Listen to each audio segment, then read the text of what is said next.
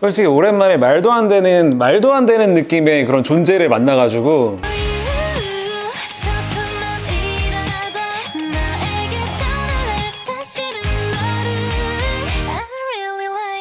안녕하세요. 저는 이번에 이제 50년 넘게 노래하고 싶은 꿈을 가진 17살로 데뷔한 어, 신인 가수 규빈입니다. 와. 와 50년 넘게 왜 하필이면 50년 넘게예요? 제가 이제 좀 옛날 가수분들을 많이 좋아하는데 그 중에 장필순 선생님을 되게 많이 좋아하거든요. 그렇게 좀 오래오래 음악을 길게 하고 싶다라는 꿈을 가지게 돼서 50년이라는 뭐- 뭔가 확실히 내가 처음에 인트로 때 제가 했, 그 얘기 드렸던 것처럼 아, 뭔가 좀 요즘 그냥 요즘 아이들인데 뭔가 좀 달라. 우리 예전에 한 20년, 30년 전에 심은하 씨라고 알아요? 다 몰라, 다 몰라. 아, 지금으로 따지면 누굴까? 한소희? 어, 그런 느낌? 그런 느낌처럼 되게 되게 그냥 당대 탑스타 느낌. 그거를 신인인 규빈 씨가 갖고 있는 거예요, 지금 그 느낌을. 그 Really Like You 네. 어떤 노래예요? 진짜 딱 제 나이에 맞는 그 10대 소녀의 설레고 풋풋하고 간질간질하고 몽글몽글한 그런 짝사랑을 노래하는 건데요. 그런 메시지가 담겨 있는데 처음부터 끝까지 막 진짜 심장이 튀어나올 정도로 설렘이 가득한 상태로 불러야 하고 그런 적이 있었나? 저는 사실 지금 여고를 다니고 있어서 안타깝게 지금은 뭔가 경험을 하진 못했지만 중학생 때 어, 정말 제대로 짝사랑을 한번 해본 적이 있어서 중학교 때 어떤 그 기억을 조금 상기시키면서 녹음을 했던 것 같아요. 녹음한 당시에는 그 아이의 그 이미지를 제일 많이 떠올렸고 어, 제가 이제 또 뮤비 촬영을 푸켓에 가서 처음으로 해외에 가서 처, 해외 처음이었어요? 네, 갔는데 그때 정말 인생에서 느껴볼 수 있었던 최대치의 설렘을 느꼈던 것 같아요. 아, 그래서 진짜. 이게 대상이 아니라 그날 느꼈던 그 설렘과 확 up돼 있는 그 감정 그거가 최근에 노래를 부를 땐 가장 많이 생각이 나는 것 같아요. 음악 방송에서도 그렇고. 네. 그리고 뮤비에서 그게 드러나요. 아, 찐 모습. 네. 네. 진짜로 너무 좋아서 하는 모습이 딱 드러나가지고 너- 너무 좋았어요, 진짜. 네. 내가 꼭 한 번씩 다들 보시면 좋을 것 같고. 다 언제부터 했어요? 다 어떻게? 처음 시작하게 된 계기?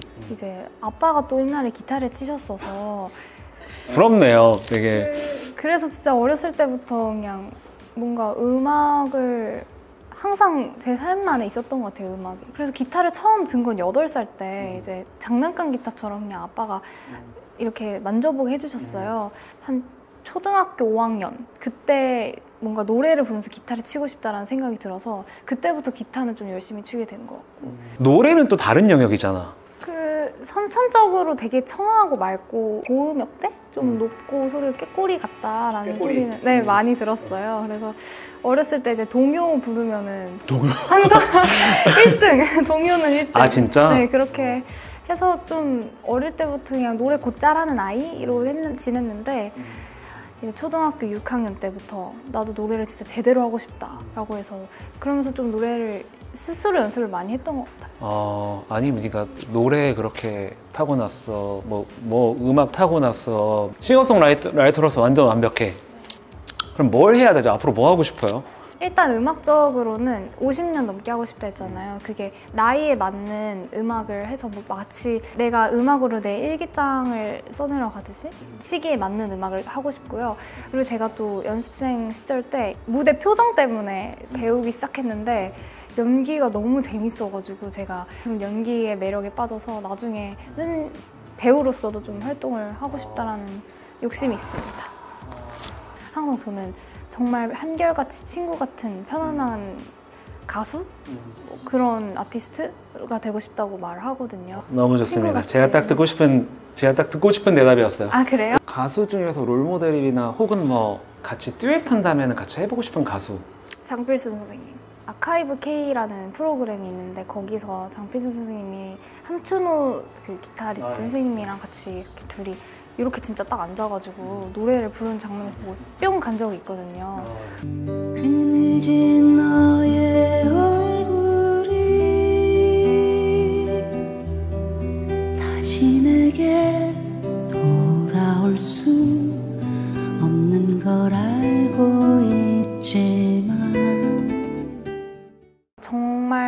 소원은 이제 소극장 같은 데서 이제 게스트로 선배님 모시고 둘이 다 같이 기타 치면서 막 하는 그런 저만의 어떤 엄청 커다란 꿈이 있습니다.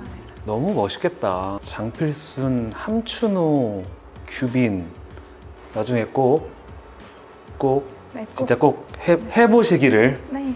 그때 저도 불러주세요. 아, 네, 그럼요. 네. 앞으로의 목표 일단 아까 말씀드렸듯이 50년 넘게 노래할 거고요. 그리고 이제 또 단기간적으로 본다면 이제 어, 사실 콜라보 프로젝트를 넬 선배님이랑 한 게 또 하나 남아 있거든요. 넬? 네, 넬. 김종환 선배님과 네. 그래서 그것도 이제 지금 준비 중이어서 네. 그걸로 또 이 데뷔 앨범과는 또 다른 매력으로 좀 또 새로운 장르로 이제 많은 사람들한테 음악을 들려드릴 예정이고 어, 이 앨범 이후에 또 두 번째 앨범도 어, 기대하셔도 좋을 만큼 열심히 준비해서 빠르게 가지고 나올 생각입니다. 정말 이- 정말 대박으로 재밌을 것 같아요. 공식 질문은 끝났는데 네. 제가 그 리얼리 라이큐를 들으면서 딱 어떤 감정을 느꼈냐면은 진짜 그 혹시 드라마 도깨비 봤어요? 아 너무 좋아하죠. 공유랑 김고은하고 네. 이동욱하고 나왔던 네. 거기가 김고은 대사 중에 갑자기 뜬금없이 사랑해요 그러면서 활짝 웃는 거예요. 그런 느낌의 노래 같았어요 이게. 아 진짜요? 네. 그래서 진짜 표정 보면서 딱 이런 느낌이에요 진짜. 설렘 가득한 표정. 너무 극찬입니다 그거는. 알겠습니다. 진짜 그걸 느껴가지고 말씀드린 거예요. 예, 내가 저, 저희 저희 매체랑 저는 거짓말 못해요. 오늘은 정말 화보치는 첫 화보인데 고생 많이 하셨고 재밌어요 해주셔서 너무 감사해요 진짜. 진짜 저도 거짓말 안 하는데 정말 정말 재밌었어요. 그리고 지치지 마시고 네. 어, 계속 본인이 하고 싶은 거 많이 하시고 네. 좋은 영감 받으면서 좋은 음악 많이 들려주세요. 네 감사합니다. 감사합니다. 오늘 정말 고생 많으셨고 인터뷰 이렇게 마칠게요. 네 감사합니다. 감사합니다. 감사합니다.